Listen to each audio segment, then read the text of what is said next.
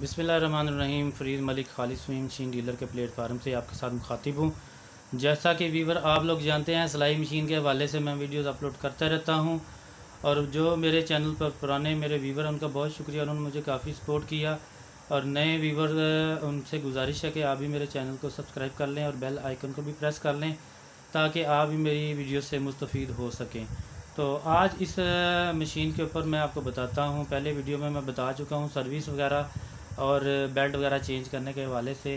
तो एक और वीडियो मैंने कहा आपके लिए बनाता हूँ। इसी मॉडल के ऊपर बहुत सारे लोगों की डिमांड है कि इसका टांका अगर ख़राब हो, नीचे वाला बखिया ख़राब हो तो कैसे ठीक करना है? तो इसके हवाले से ये दो तीन चीज़ें हैं, मैं आपको बता देता हूँ।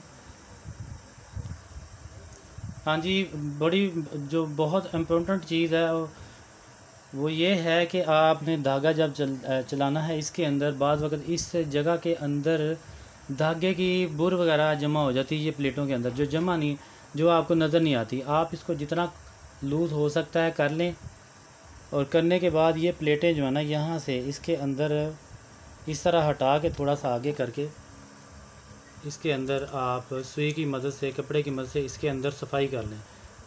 सारा ना खोलें, मैं तो लगा लूँगा, मेरा तो काम है। लेकिन आप खोल के आपके लिए लगाना ये मुश्किल हो जाएगा। इसको अंदर से सारी चीज़ों को साफ़ कर लें।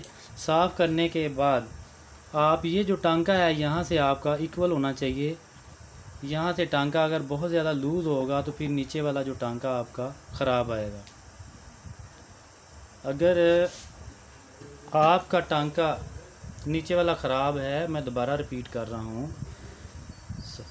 कि यहाँ से आपने सफ़ाई करने के बाद इसको इतना टाइट करना है कि आपका धागा जो ना, यहाँ से मुनासब आना चाहिए, ज़्यादा ना लूज़ ना टाइट टांका लगाने के बाद आप देखें कि आपकी मशीन अभी भी थोड़ा नीचे से टांका थोड़ा सा हल्का सा ख़राब आ रहा है तो इसको मज़ीद थोड़ा सा कस लें और नीचे वाला जो टांका ना, इसको मुनासब आना चाहिए।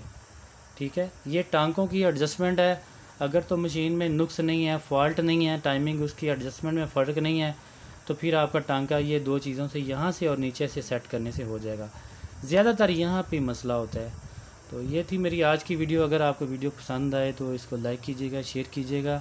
इन और जैसे जैसे टॉपिक आएँगे, मैं इस हवाले से आपको वीडियो आप अपलोड करूँगा।